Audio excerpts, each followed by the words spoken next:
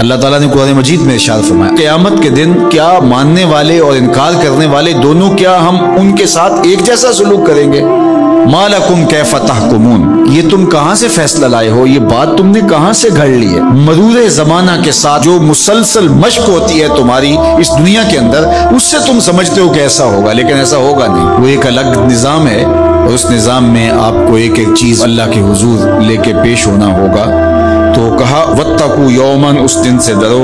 ला तजजी नफ्स नफ्स शया। कोई जान किसी जान की जजा नहीं बनेगी। कोई जान किसी जान का बदला नहीं बनेगी कि इस जगह मुझे रख लो। कोई बनना भी नहीं चाहेगा।